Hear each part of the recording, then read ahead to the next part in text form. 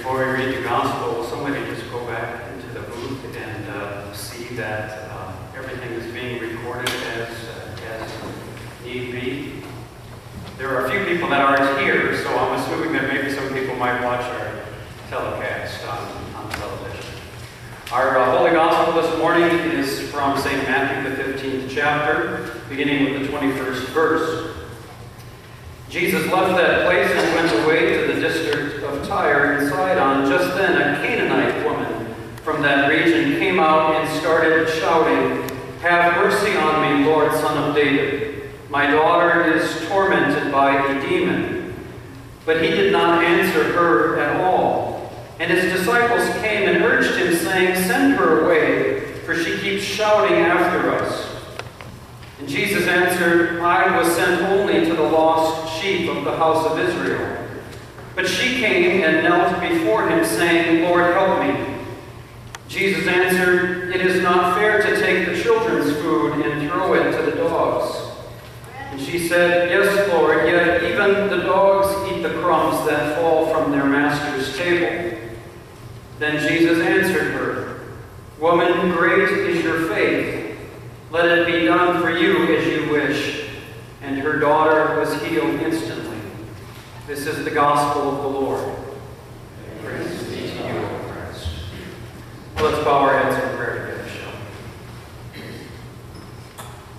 we? Lord, you've called us together this morning to experience the rich blessing of the fellowship of believers, to grow closer to you through the act of worship and I pray that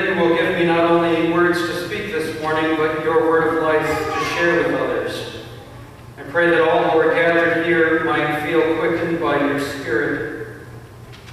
And I ask especially that if there is anyone here this morning that has come to this place of desperation, if any are here in this place that are hurting or are in sorrow, or longing, or hungry for life, that that person might know that you are present in his or her life today, and that you are ready to fill whatever is empty. We pray this in Jesus' name. Amen.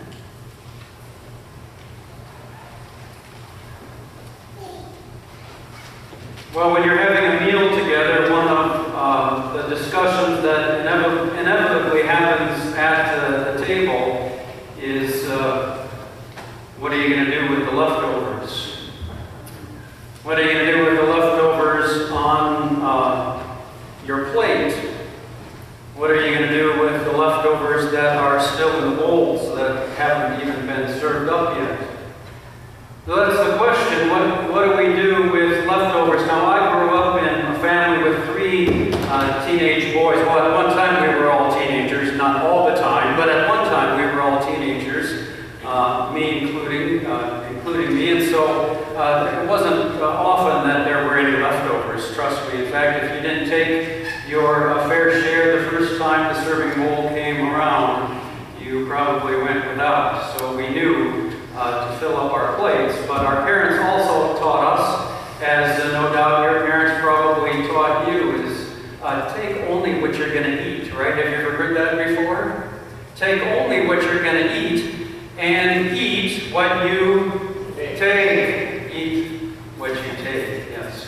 So uh, we were always taught to clean our plates. How many of you were taught to clean your plates when you had a meal together? I mean, I can remember times that I was incredibly full, and yet there was still food left on my plate, and my parents were like, you're going to eat that, and you're going to sit here until it's gone. Well, we're not uh, that focused uh, nowadays, I think, with uh, leftovers, but when things are scarce, uh, then you tend to be a little more conscientious of leftovers and wasting. Now, some studies have been done where it says that the typical American uh, throws away 25% of the food and beverages that he or she buys. 25% is thrown away. So the question before us is, you know, what do we do with leftovers? What do we do uh, with uh, the scraps at the table? And of course, it's uh, something that we don't always agree on either. And certainly, uh, that question was posed before Jesus in the gospel lesson this morning, too. I mean, they had those uh, uh, questions about scraps and crumbs, and it also was a divisive topic in Jesus' day.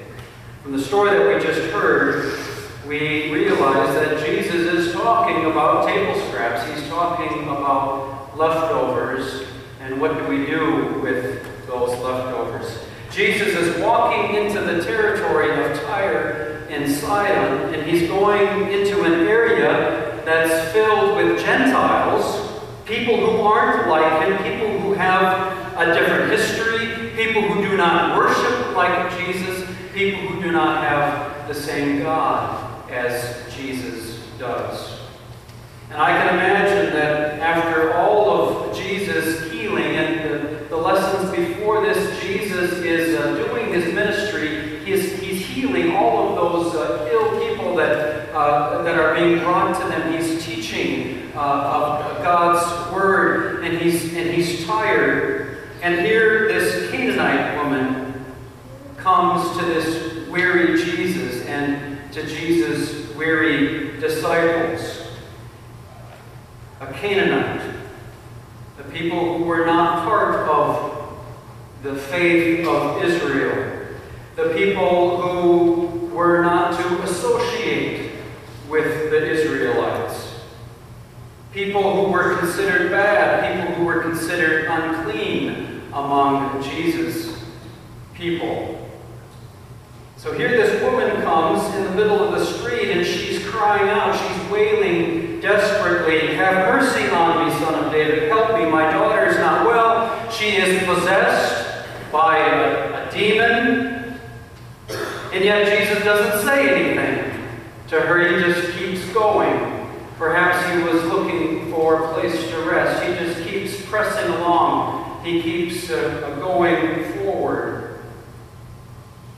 he just kind of leaves this woman alone initially. But there she is, still crying out, creating a scene. And, and the disciples become uneasy about this. And, and they tell Jesus, Make her go away. Make this woman go away. She doesn't belong here. This woman should not be bothering us at all. And, and this is where we expect Jesus, of all people, to understand where this woman is coming from, to anticipate the scene that it would play out like many of the other miracle stories, that this woman would cry out, the disciples would kind of scoff at that, and then Jesus would just bring about healing, and then if we all would learn a valuable lesson.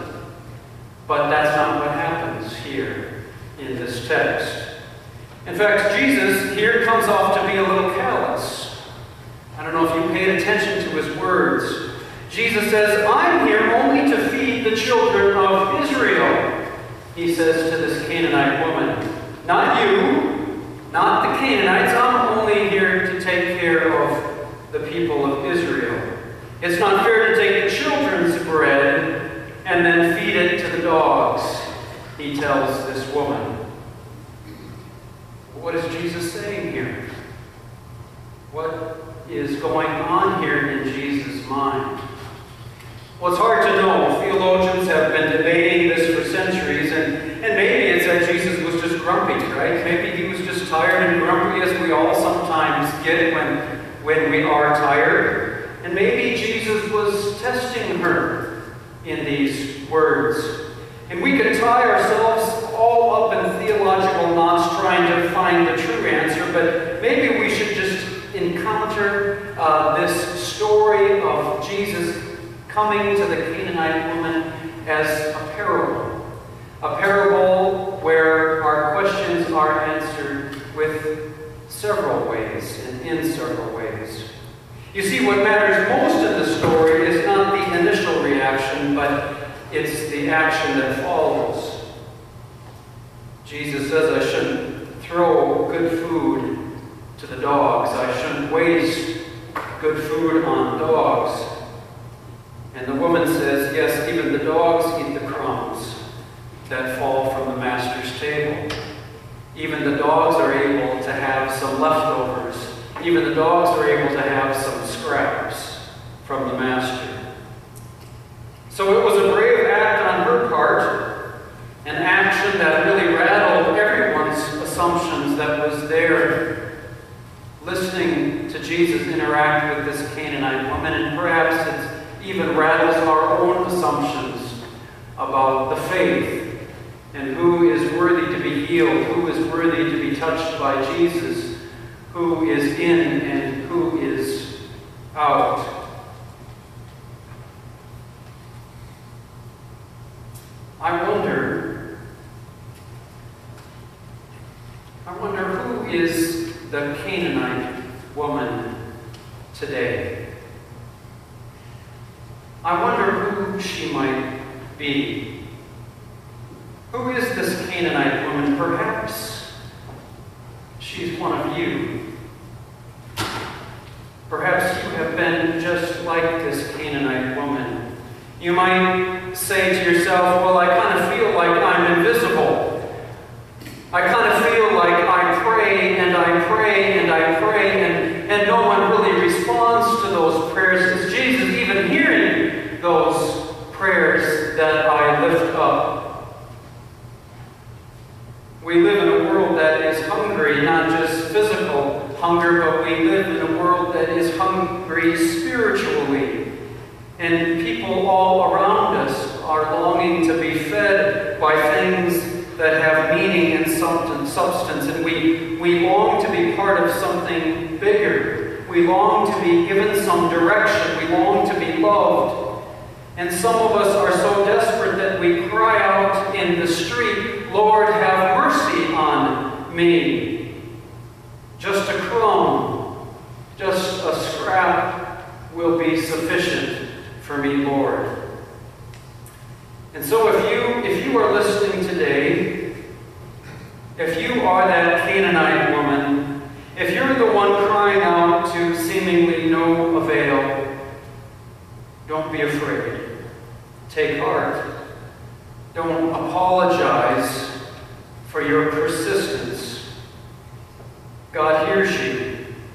God hears you even in your times of struggle, even in your times of despair, God hears you. And just as God called the woman in this story, just as God called her faith great, just as Jesus said those four little words to her, Great is your faith, so God is saying that to you today. Great is your faith in your prayer, and in your persistence. It's no coincidence that after this encounter with the Canaanite woman, the next thing that Jesus does in Matthew's story is to go down to the sea and meet with a crowd of 4,000 hungry and longing people. And he will feed all 4,000 of them from just seven loaves of bread and a fish. You see, God has this amazing ability to bring about change in the most astonishing ways and through the most unexpected people. God's work in our lives is always surprising us, always jarring us, always shaking up our worldview. God makes abundance out of scarcity. God is constantly taking the scraps from our table, the crumbs that we discard, and turning them into a feast, a feast to which we are all invited.